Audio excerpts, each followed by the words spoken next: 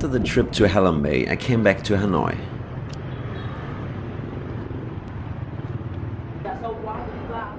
But tonight I'm leaving the city on a night train to Hue.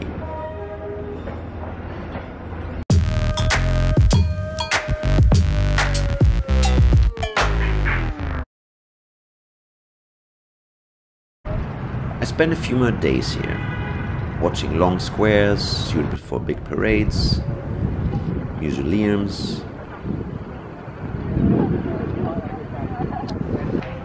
temples, etc. etc. But then it was time to leave the city and travel south. The best way, I thought, would be to take the night train down to Hue. And it was an interesting ride for sure. This was the room I stayed in. You hear the onboard entertainment system in the background.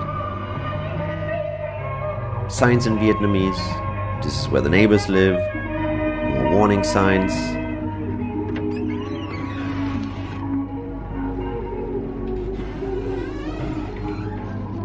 The aircon, which was so cold, I was wearing a jacket and a scarf at all times. And then we finally departed.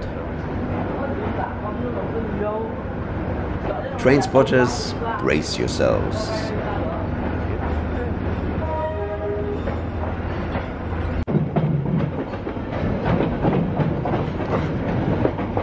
The train leaves Hanoi through a very narrow way.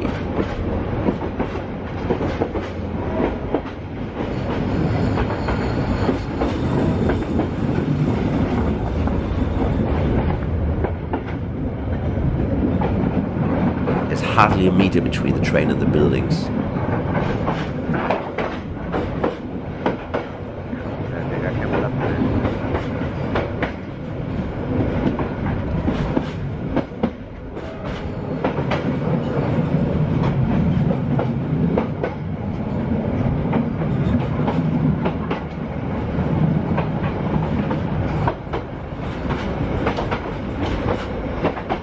Here we go. We're finally leaving Hanoi, you little buzzing bee.